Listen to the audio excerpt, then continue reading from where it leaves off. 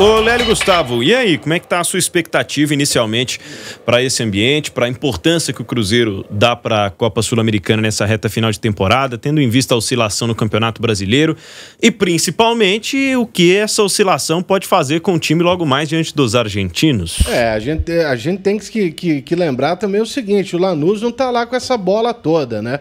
Não. É um time que já não vence há um bom tempo. É, já tem mais de um mês que o Lanús não vence um jogo. É um tempão. E o Cruzeiro tem que se aproveitar disso, porque, afinal de contas, é, o Cruzeiro, ele agora aposta na Sul-Americana não só para uma vaga diretamente na Copa Libertadores do ano que vem, mas um título de expressão.